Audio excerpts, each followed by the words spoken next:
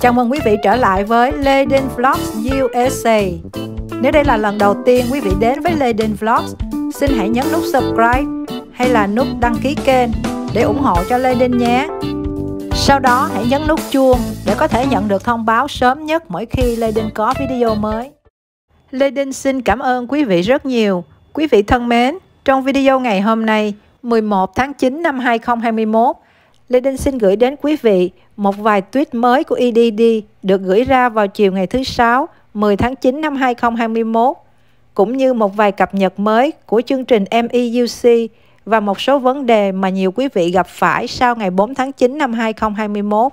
Sau đây là các tweet của EDD được gửi ra vào chiều ngày thứ Sáu, 10 tháng 9 năm 2021. Tweet đầu tiên có liên quan đến chương trình FedEd. Trong tweet này, EDD nhắc nhở quý vị rằng sau ngày 11 tháng 9 năm 2021, tức là cuối ngày hôm nay, chương trình FedEx sẽ không còn được trả nữa. Tức là nếu quý vị đang nhận chương trình FedEx, cho dù quý vị chưa nhận đủ 13 tuần lễ, cho dù claim balance của quý vị vẫn còn tiền, quý vị cũng sẽ không nhận được thêm tiền cho những tuần lễ tiếp theo.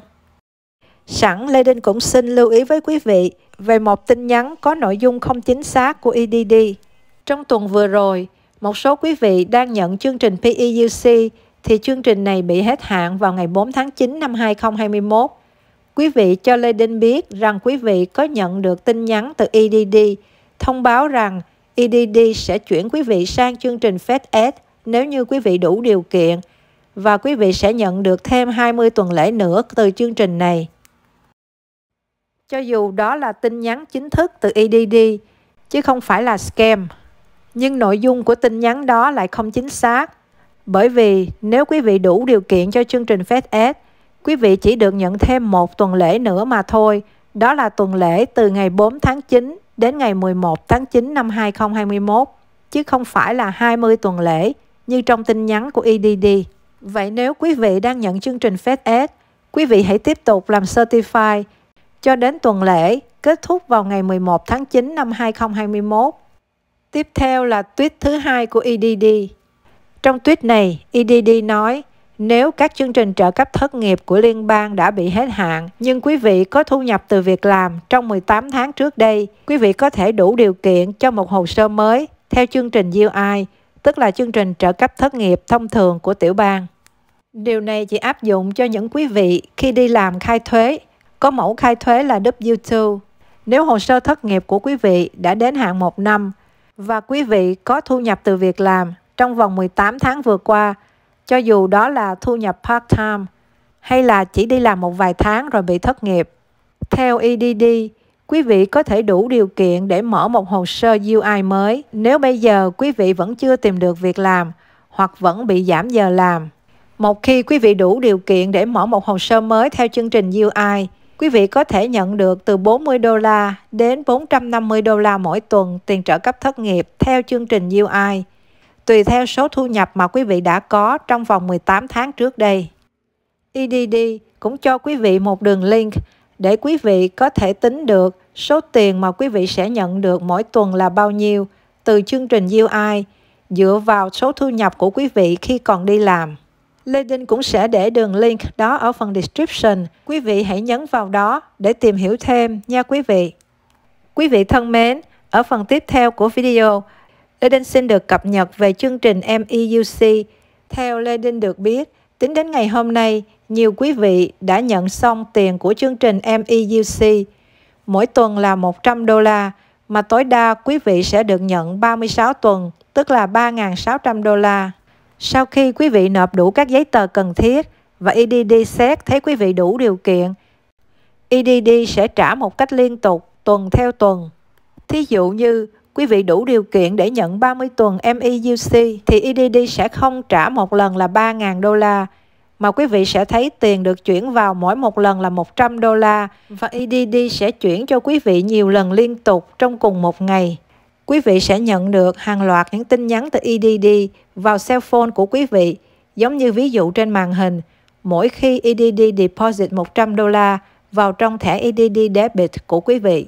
Tây Đinh cũng xin phép lưu ý với quý vị, nếu quý vị muốn tránh bị kẻ gian rút tiền trong thẻ debit, Quý vị hãy deposit tất cả những số tiền trong thẻ debit EDD của quý vị vào trương một ngân hàng của quý vị, càng sớm càng tốt.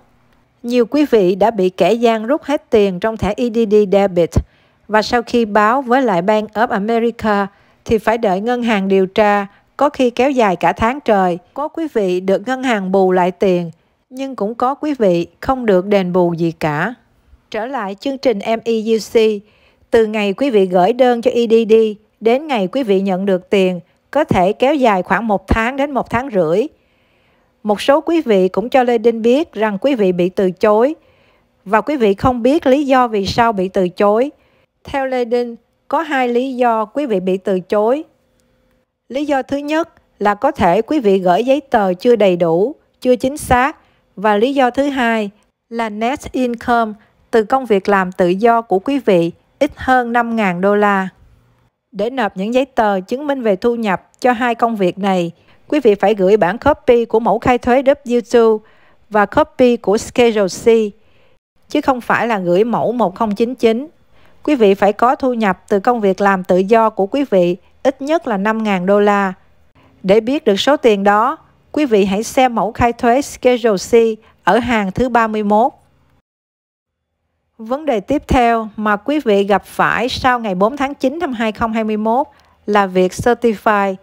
Nhiều quý vị cho Lê Đinh biết rằng khi quý vị vào làm Certify ngày 5 tháng 9, cho tuần lễ kết thúc vào ngày 4 tháng 9, thì quý vị lại không làm Certify được. Nhưng một số khán giả khác vẫn làm Certify được. Có thể đó là do lỗi của hệ thống EDD trước ngày lễ lao động 6 tháng 9 nhưng cũng có thể là do hồ sơ của quý vị có một số vấn đề nào đó. Cho nên, nếu như thứ bảy tuần này hay chủ nhật tuần này mà quý vị vẫn bị trục trặc khi vào làm Certify, quý vị hãy gọi cho EDD để tìm hiểu nguyên nhân, miễn sao những tuần lễ mà quý vị làm Certify vẫn còn nằm trong thời hạn mà các chương trình trợ cấp thất nghiệp liên bang chưa hết hạn. Có khán giả nói cho Lê Đinh biết rằng sau khi gọi EDD để hỏi về việc này, thì nhân viên EDD nói hãy đợi thư của EDD để cho ngày và giờ để interview, tức là phỏng vấn. Nhưng theo Lê Đinh, câu trả lời này chưa hợp lý lắm, bởi vì quý vị không làm certify được, chứ đâu phải là quý vị đang bị pending. Khi nào claim của quý vị bị pending thì mới chờ phỏng vấn. Mà cho dù claim của quý vị đang bị pending, thì EDD vẫn phải để cho quý vị làm certify cho những tuần lễ tiếp theo và phải trả tiền những tuần lễ mới đó cho quý vị. Nếu như quý vị trả lời thỏa đáng hết những câu hỏi trong lúc quý vị làm certify, quý vị có ai gặp trường hợp giống như vậy hay không? Nếu có, xin quý vị hãy chia sẻ trường hợp của mình cũng như cách giải quyết cho Lê Đinh và vị khán giả này biết với nhé. Nếu Lê Đinh gặp trường hợp này, có lẽ Lê Đinh sẽ gọi cho EDD một lần nữa, gặp một người khác để xem người này trả lời có giống như người nhân viên lúc đầu hay không. Bởi vì nhân viên của EDD cũng có người có kinh nghiệm nhiều nhưng cũng có người có ít kinh nghiệm cho nên nếu quý vị gặp người có nhiều kinh nghiệm có thể quý vị sẽ được câu trả lời chính xác hơn còn một vấn đề nữa mà Lê Đinh cũng được khán giả chia sẻ rằng sau ngày 4 tháng 9, thay vì những claim balance của quý vị trở lại zero, thì có khán giả bị claim balance là negative, tức là số âm. Khán giả hỏi rằng đó có phải là bị overpayment hay không? Theo Lê Đinh, có thể là như vậy.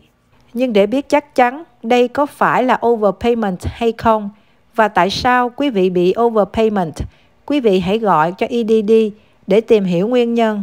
Bởi vì có rất nhiều nguyên nhân khiến cho quý vị bị overpayment.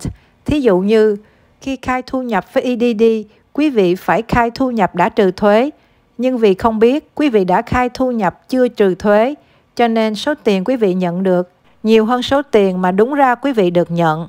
Hay là quý vị đi làm trở lại mà quý vị quên khai báo với EDD hoặc quý vị quên khai thu nhập với EDD và bây giờ EDD nhận được giấy báo từ chỗ làm của quý vị. Đó chỉ là một vài ví dụ mà Lê Đinh muốn chia sẻ với quý vị thôi. Còn trường hợp của quý vị có thể là không phải như vậy. Có thể không phải là lỗi của quý vị. Cho nên, cách tốt nhất là quý vị hãy gọi cho EDD để tìm hiểu nguyên nhân và hướng giải quyết. Quý vị thân mến, và đó là một số chia sẻ của Lê Đinh muốn gửi đến quý vị trong video ngày hôm nay. Lê Đinh rất cảm ơn sự ủng hộ của quý vị đối với Lê Đinh Vlogs USA. Lê Đinh hy vọng video này mang đến những thông tin hữu ích cho quý vị và cũng xin được cảm ơn quý vị luôn dành thời gian theo dõi các video của Lê Đinh.